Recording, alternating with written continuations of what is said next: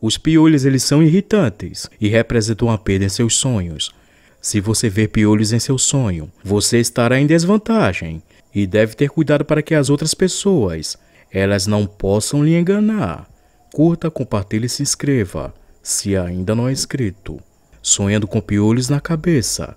Quando você sonha que tem piolhos na cabeça, isso indica recentemente que teve azar em alguma coisa, ou pode ser brigas com seus desafetos.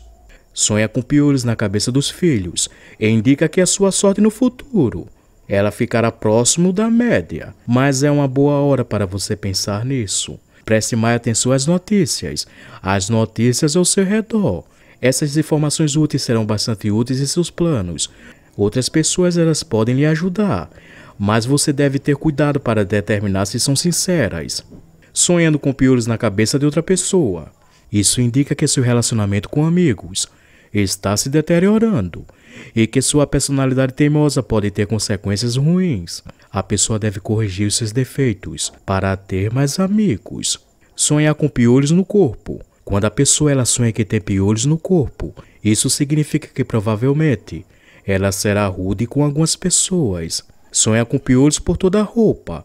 Os sonhos com piolhos na roupa alertam que alguém está doente na família. Isso é algo a se preocupar. Sonhar que pessoa capturou piolhos sabe que isso é um bom dia para fazer as coisas. Nos últimos dois dias, a pessoa ela estava com ideias de empreendedor e com tendência de prestar atenção a alguns resultados sobre dinheiro, sonhando que alguém está capturando piolhos na sua cabeça. Isso indica que os conselhos de familiares ou até mesmo amigos, a pessoa não está percebendo a importância desses conselhos. É bom começar a prestar atenção à ajuda de outras pessoas e irá melhorar muito a sua jornada de vida sonhando em matar piolhos.